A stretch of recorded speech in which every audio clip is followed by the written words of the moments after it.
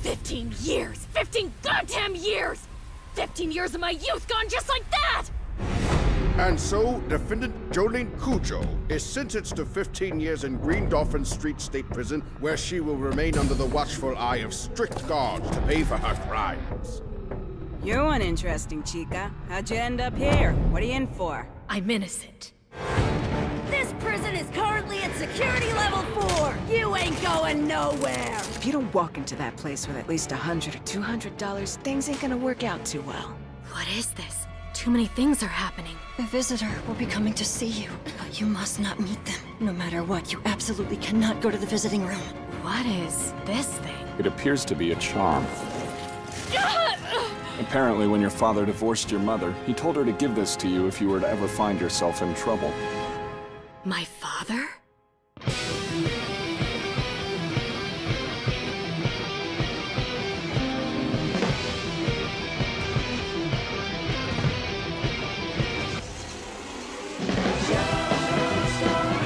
Still, in this world, something more terrifying than death exists. And I'm certain that it's happening right here.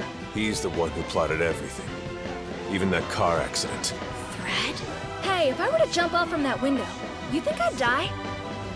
I was in custody for burglary when I picked up that thing in the meeting room at the holding jail. Jolyne! I came here today to help you get out of this place. What the hell is going on here? I'll take that as a yes. It's known as a stand.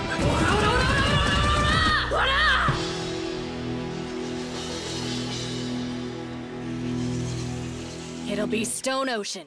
Cause somehow I'm gonna free myself from this sea of stone.